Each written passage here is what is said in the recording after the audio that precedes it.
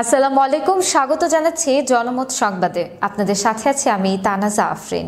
আধা স্বায়ত্তশাসিত কুর্দিস্তান অঞ্চলে অবস্থিত ইসরায়েলের গুপ্তচর সংস্থা মোসাদের স্পাই হেডকোয়ার্টারে ক্ষেপণাস্ত্র হামলা চালিয়েছে ইরান। এতে অন্তত চারজন নিহত হয়েছে বলে ইরাকি সূত্র জানিয়েছে। ইরানের ইসলামিক রেভলিউশনারি গার্ড কোর হামলার কথা স্বীকার করেছে। ইরাকের উত্তরাঞ্চলীয় নগরী ইরবিলের কাছে এই হামলাটি হয়। ইরান একই সময় সিরিয়ার নির্দিষ্ট একটি স্থানে হামলা চালিয়েছে। কুর্দিস্তান সিকিউরিটি কাউন্সিল জানিয়েছে, ইরান কয়েকটি ব্যালিস্টিক ক্ষেপণাস্ত্র হামলা চালিয়েছে। চারজন নিহত এবং অন্য ছয়জন আহত হয়েছেন।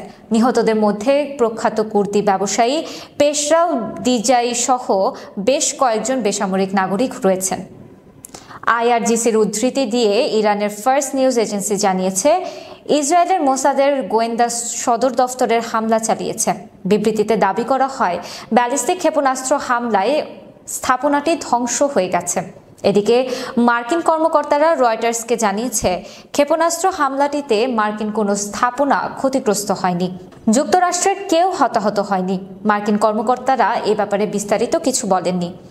সোমবার রাতে ইরানের বিপ্লবী গার্ডস বিষয়টি নিশ্চিত করেছে। এছাড়া সিরিয়ায় ইসলামিক স্টেটের স্থাপনাতেও হামলা করা হয়েছে বলে জানিয়েছে আইআরজিসি। দর্শক, এ ছিল এখনকার মতো। এতক্ষণ সঙ্গে থাকার জন্য ধন্যবাদ সবাইকে।